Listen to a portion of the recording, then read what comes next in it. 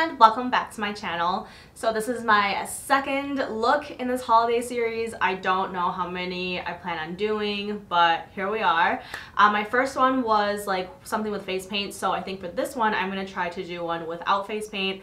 And a lot of people have done kind of that string Christmas lights look, and so I thought I would kind of put my own spin on it slash do my own thing. Um, so many people have done it. I'm sure I'll probably come up with something like somebody else, but let's just, let's just go for it. Okay, so to start, as you can see, I have my brows and my face on, so I'm just going to jump right into eyeshadow.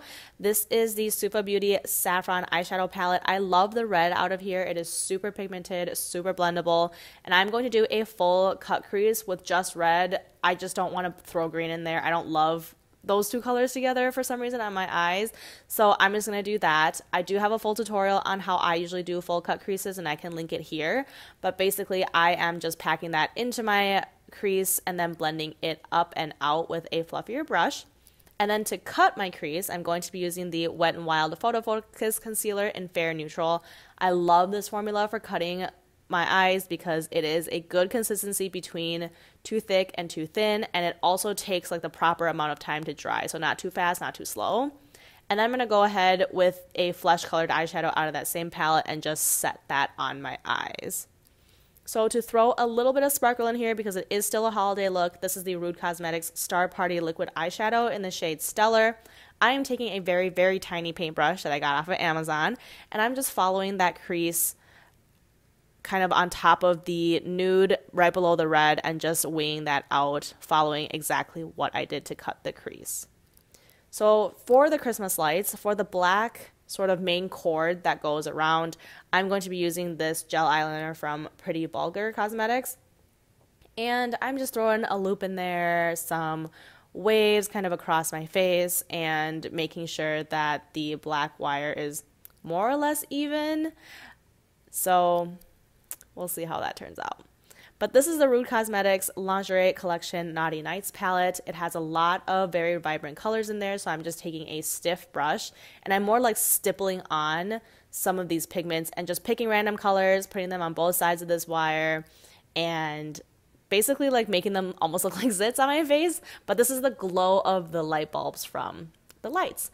So because some of the colors went on a little bit light, especially this yellow, I'm just going to spray a stiffer brush with water and go over some of these colors again. And I don't know if it made a difference, but I don't know. It made me feel better at least. So next I'm going to take this white eyeliner from Kleancolor Cosmetics. These things are like a buck. But I am going in to the center of the bulbs and popping this white on. I did have to jam it in my face pretty hard, so there's that. And then on top of that, I'm using this Maybelline Color Tattoo Eye Chrome in Gilded Rose just to give it a little bit more pop as well so that it sticks out a little bit more. And then I'm just going to go ahead and take that same black eyeliner and connect the bulbs to the main wire. I feel like I drew the bulbs too far out from the main wire and so like the connections here are a little bit longer than I initially wanted, but I think it'll turn out okay.